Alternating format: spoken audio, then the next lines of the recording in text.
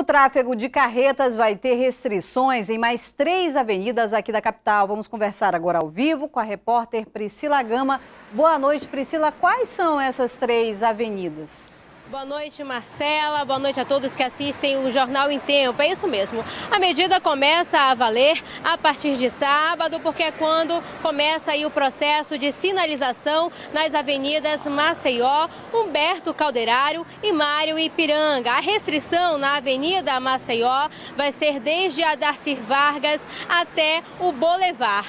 Já na Humberto Calderário, os veículos pesados não poderão trafegar na rua Domingos Lima Lima, a antiga Marciano Armon, até a Efigênio Salles, próximo ao Parque 10. Já aqui na Avenida Mário Ipiranga, vai ser no trecho da Efigênio Salles até o Boulevard. O horário de restrição vai ser das 6 da manhã às 9 para os veículos acima de 8 toneladas e de 9 às 5 da tarde para os veículos acima de 16 toneladas. De acordo com o Manaus Trans, Trans, o trabalho de orientação deve durar 15 dias. Depois disso, quem não cumprir a regra será multado. O valor da infração é de R$ 127,69, cinco pontos na carteira e o veículo ainda pode ser apreendido. Agora, Marcela, é importante a gente falar sobre isso porque serve de alerta para os condutores desse tipo de veículo, porque a gente já presenciou aí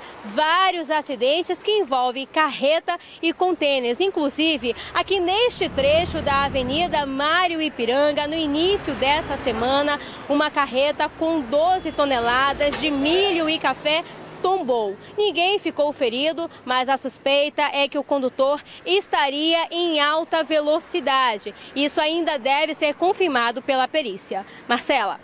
Obrigada. Essa foi a Priscila Gama, ao vivo da Avenida Mário Ipiranga, na zona centro-sul aqui da capital. E depois da polêmica do Festival Folclórico lá em Parintins, o Ministério Público abriu um inquérito para investigar se houve irregularidades no resultado.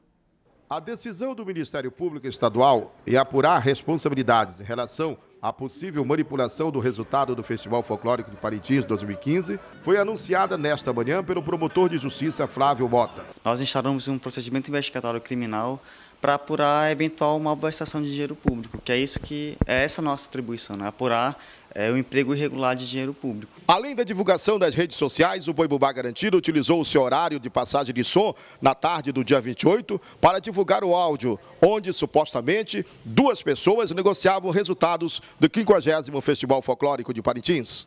Serão ouvidos o teatrólogo Chico Cardoso, o empresário Armando do Vale e os presidentes de Garantido e Caprichoso. O promotor disse que os bumbás recebem recursos públicos com finalidade definida. A verba pública tem uma destinação específica, que é para patrocinar o festival, não é para ficar corrompendo os jurados. Né?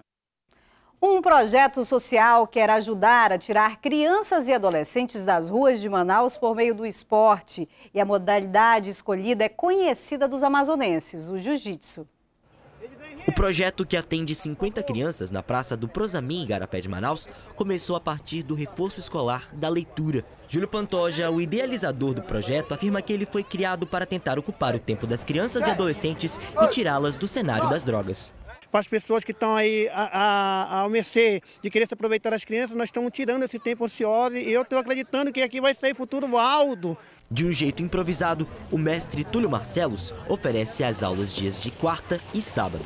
Ele conta que para o aluno ingressar no curso precisa ter um bom desempenho na escola. A criança tem que participar do projeto, é, o, o saber na, na praça, aí tem que participar do, do, da aula de reforço, da aula de flauta, tem que estar tá bem em casa, bem na aula, para poder participar do jiu-jitsu. A luta caiu no gosto das crianças. Para me aprender a melhorar na, na escola e no tudo quanto. Ter mais a habilidade no, aprende mais coisas no jiu-jitsu. Para esta mãe, além da educação, os filhos aprendem também a defesa pessoal. Eles acabam ocupando a mente deles e participando de uma atividade que pode servir como defesa pessoal daqui a algum tempo. Por enquanto, a grande dificuldade é a falta de estrutura. A gente não tem recurso, a gente não tem apoio e esse projeto é um projeto riquíssimo, né? Esse é mais um exemplo que a força de vontade pode mudar o mundo com a educação. Por hoje é só, você pode rever as nossas reportagens na nossa página no YouTube ou ainda no portal Em Tempo e também pode interagir com a gente por meio do nosso número do WhatsApp. A gente se despede agora com imagens ao vivo da Avenida Mário Ipiranga, antiga, antiga Recife, agora que são 18 horas e 44 minutos na capital amazonense. Você vê que o trânsito flui bem nesse início de julho, também muita gente de férias. A gente se vê amanhã, 18h20. Até lá.